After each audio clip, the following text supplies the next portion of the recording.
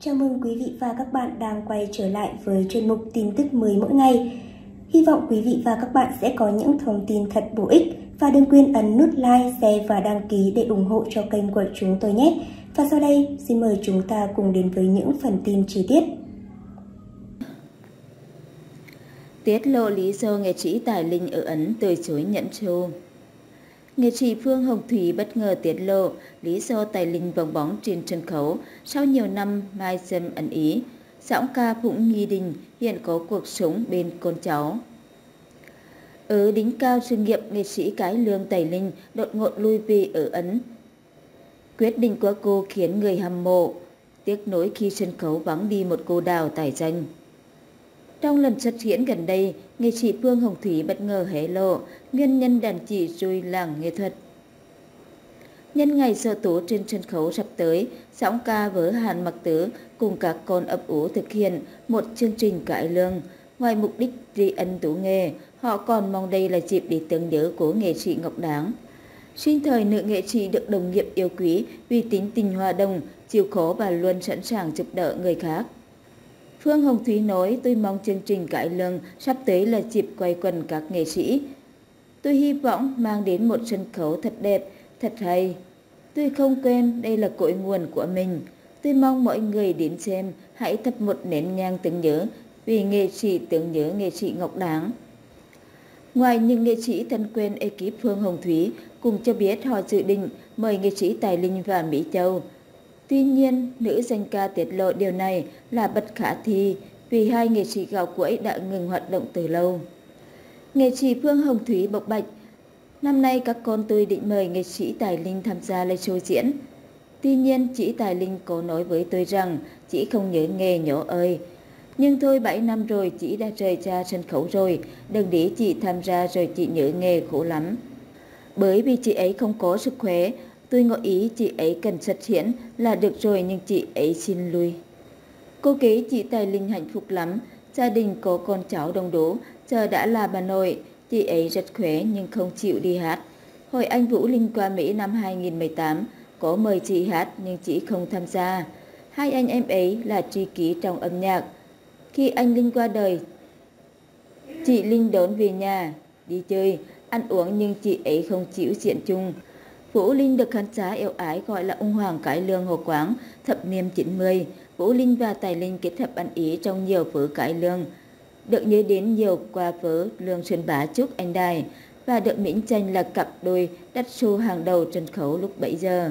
Chỉ Tài Linh gọi điện cho tôi, khóc rất nhiều những năm qua. Khi sức khỏe của anh Vũ Linh yếu thì những cụ điện thoại của chị cùng nhắc nhiều về anh, Tài Linh nổi thương anh Vũ Linh mà không biết phải làm sao.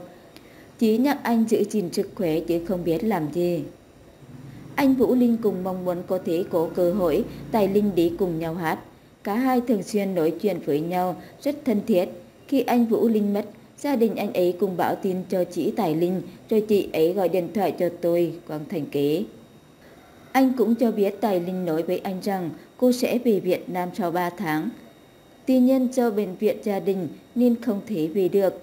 Giờ đây nghe tin anh Vũ Linh mất thì sức khỏe chị lại ảnh hưởng có thể lại, càng không về được anh bộc bạch. Tài Linh vừa xuất hiện trong lễ cúng nghệ sĩ Ngọc Đáng ở Mỹ. Không còn đi hát, nữ nghệ sĩ Hiền mái ấm gia đình hạnh phúc, vui vầy tuổi xế chiều bên con cháu. Nghệ sĩ Ngọc Huyền gây bất ngờ khi ghé lộ gặp gỡ với nghệ sĩ Tài Linh Tại tuần quế thất thứ hai của cố nghệ sĩ Ngọc Đáng sau nhiều năm vắng bóng. Đây là lần hiếm hoi giọng ca mưa bụi xuất hiện trước công chúng. Cô đi cùng nghệ sĩ tài tâm và một số đồng nghiệp đến dự lễ. Đặc biệt nữ nghệ sĩ ôm trầm bật khóc khi hồi ngộ Ngọc Huyền. Dù đã ngoài 60 nhưng nghệ sĩ Tài Linh vẫn khỏe mạnh, nhanh nhẹn. Dù súng khép kín, nhưng nữ nghệ sĩ vẫn giữ mối quan hệ thân tình với chị em đồng nghiệp một thời. Tài Linh từng là một trong những ngôi sao của cái lương Việt Nam. Cô từng ghi dấu ấn là cô đào tránh của nhiều đoàn hát nổi tiếng thời đó. Đặc biệt nữ ca sĩ được yêu mến qua các vở tuồng kinh điển như Trâm Trịnh Ân, Phũng Nghi Đình, Lương Xuân Bá Trúc Anh Đài, Thái Bình Công Chúa, Bích Vân Cung Kỳ Án. Tài Linh cũng là tên tuổi sang giá khi kết hợp cùng nhiều nam nghệ sĩ tài danh, trong đó, bộ đôi tài linh Vũ Linh từng làm nào lòng, người yêu cải lương một thời.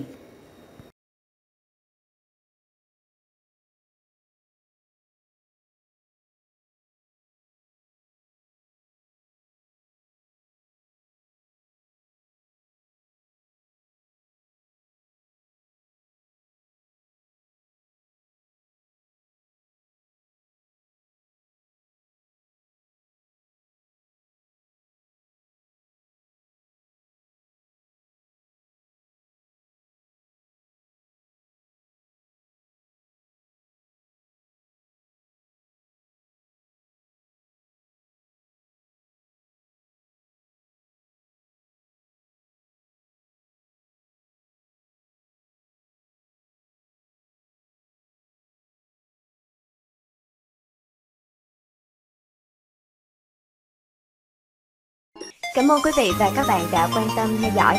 Nếu thích, hãy like và share. Và đừng quên bấm nút đăng ký tại đây để xem thêm nhiều video hấp dẫn hơn của chúng tôi. Xin chào và hẹn gặp lại.